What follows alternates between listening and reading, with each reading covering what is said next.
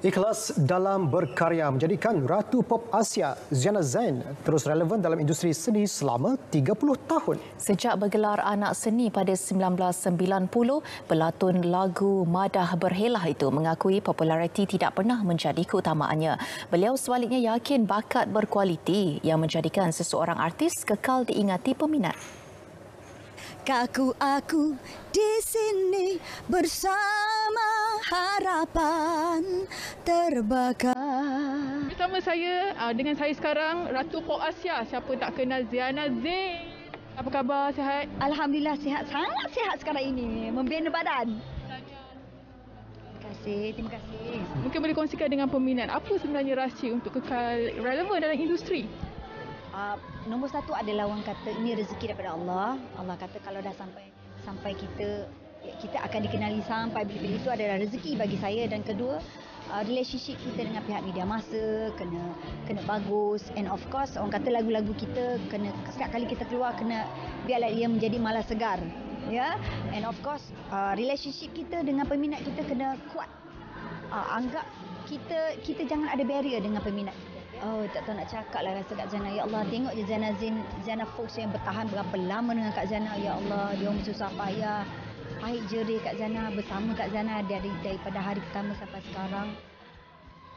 Ya Allah, tak terbalas lah Kak Zana. Kalau kita nak bandingkan dengan Diamond, lebih, lebih tinggi daripada Diamond. Rasa terima kasih Kak Zana pada pada Zana Fox dan peminat semua. Dan Kak Zana harap sangat-sangat semoga uh, persahabatan kita ni kekal sehingga ke Zana.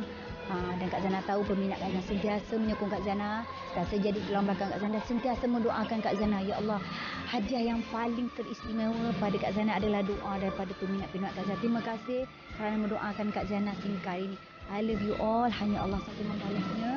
Uh, semoga kita, uh, semoga Allah akan memudahkan segala urusan kita nanti. InsyaAllah. Terima kasih. Sering tampil dengan watak air mata, pelakon Nadia Bryan kini menyalahkan karakter sebenar yang ceria dan lasak menerusi drama bersiri Rudy vs. Jolie.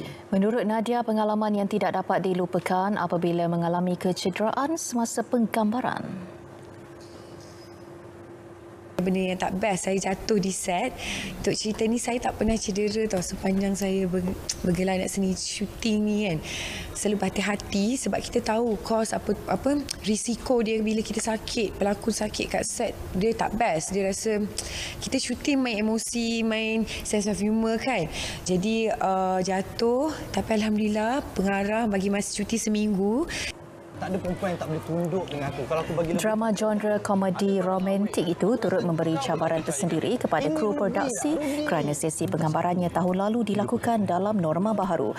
Pengarahnya Syuhaimi Lua berkata hampir 50% rombakan dibuat bagi menyesuaikan skrip dan adegan mengikut SOP ditetapkan.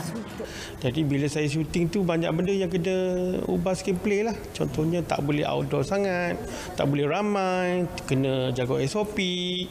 Jadi benda-benda macam tu boleh membataskan kita punya kreativiti. Contohnya kalau adegan macam romantik komedi mestilah adegan-adegan yang berpegang kan. Jadi kita tak boleh pegang.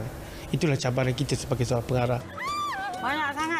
Rudy vs Jolie bakal ditayangkan bermula 15 Februari Isnin hingga Jumaat ini pukul 10 malam di TV OK.